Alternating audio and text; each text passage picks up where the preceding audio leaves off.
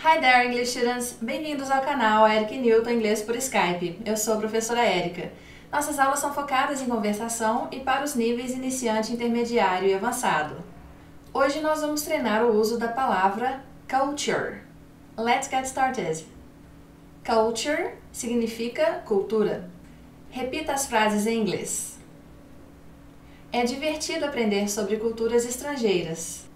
It's fun to learn about foreign cultures. Adoro a cultura francesa. I love French culture.